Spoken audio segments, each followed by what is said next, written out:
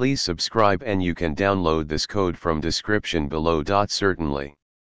Reading XML in Python involves using libraries like xml.etree.ElementTree or lxml.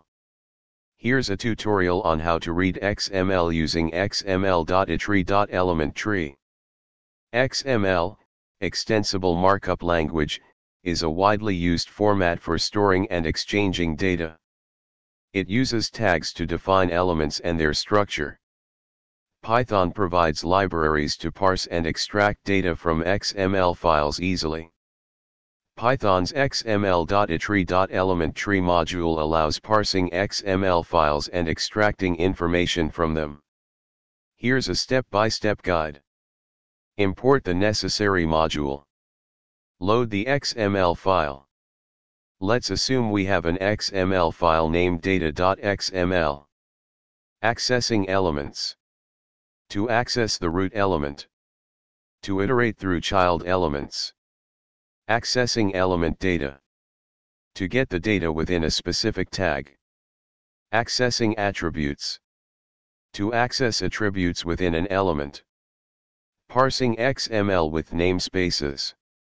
If the XML uses namespaces, you can specify them. Creating a new XML structure. You can also create a new XML structure programmatically using element tree. Writing XML back to a file. To write the modified XML structure back to a file. Let's consider an example XML file, data.xml. Python code to read and print the data from this XML file. This code snippet will output Feel free to modify and adapt this code to suit your specific XML structure and data retrieval needs. XML, Extensible Markup Language, is a popular format for storing and transporting data. Python provides several libraries to work with XML files, and in this tutorial, we'll explore how to read XML data using the element tree module. Before you begin, ensure you have Python installed on your system.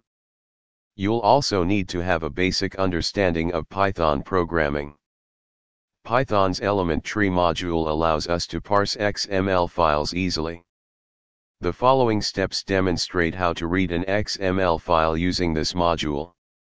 First, you need to import the element tree module.